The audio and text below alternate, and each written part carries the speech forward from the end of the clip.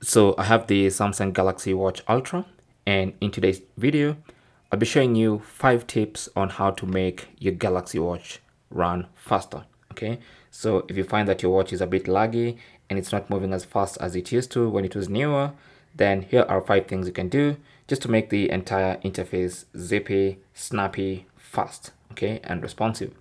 Now the first thing you can do is to clear app cache, okay? Now over time, as you use apps on your Galaxy Watch Ultra, these apps build cache data, and this cache data is basically meant to improve your performance or experience or your watch's performance. But over time, if too much of that cache data builds up, then it might make your watch slow. So what you want to do is simply go to settings. This is the main settings page. Scroll down to apps. Tap on that and then go to app list. Under app list, you will see all the apps in your Galaxy Watch Ultra. So what you want to do is find uh, the apps you use the most. So for instance, let's say you use Google Assistant a lot. You can tap on that and then in that app, just go and find cache. So it's still trying to compute the cache.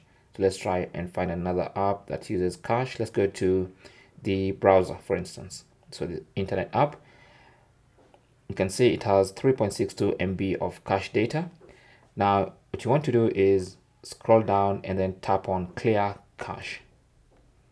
That's going to delete that 3 point uh, something uh, MB of data basically cleared cache and you can do this for all the apps especially the ones you use the most and the ones that accumulate the most cache so that's one thing you can do for apps now the other thing you can do to make your watch faster is to generally clear the cache partition. Now there are some system apps which keep cache that you cannot delete using the method I've shown you but you can always go into recovery mode and basically just uh, clear the entire cache partition okay? Now I've made a whole separate video on that which I'll link down below but that's the second thing you can do. Just clear the cache partition from recovery mode and that's going to clear a lot of unnecessary cache and make your watch run a little faster now the other thing you can do to make your watch run faster is to uh, form a habit of closing apps now anytime you exit an app so for instance if you go to Google Maps and then you go back and you think you've exited that app, that app is still running in the background. And you can see all apps running in the background. If you swipe up and then tap on this icon here, that shows all the apps running in the background. So the more apps you run in the background, the more they uh, hog your RAM and make your watch run slow. Okay, so what you want to do is every now and then come here and close all the apps running in the background and that should help with uh, less uh, strain on the RAM and make your watch run a little faster. Now, the other thing you can do is to free up the memory or clear the RAM. And you can do this from settings. Under settings, go to device care, tap on that. And then under device care, if you go to memory, you'll actually see this option here to clear or to clean now. So this is going to clear the memory by closing all apps and clearing unnecessary cache. So if you tap on that, it's going to start uh, doing a cleanup of the memory and free up all the available memory and make your watch run even faster.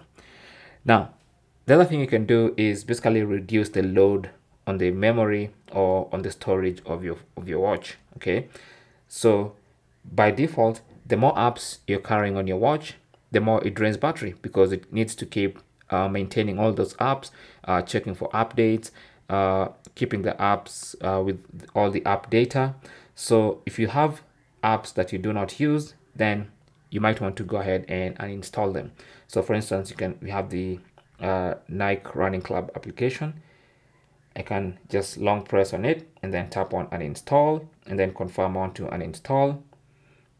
And you can do this for all the apps you rarely use. Okay. Now, even if it's an app you use very uh, seldom. So for instance, if you plan to use an app maybe one month from now, then you can always go ahead and uninstall it right now. And then when you want to use it then you can reinstall it. And then you also have things like duplicate apps. So for instance if you have two browsers okay you don't need two browsers you can always go ahead and, uninstall the browser you don't want. You can also go to an app like Bixby and you can see Bixby is currently not enabled I mean you cannot uninstall Bixby because it's a system app but you can always go ahead and disable in the settings. So if you go to settings and then under settings go to apps and then go to app list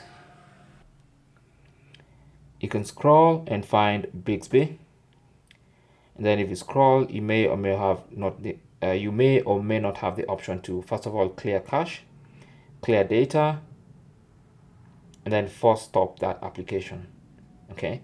So you can do that for all the system apps that you're not able to uninstall. So those are the five tips that you can use to make your galaxy watch run uh, faster. Thanks for watching. Comments and questions down below and good luck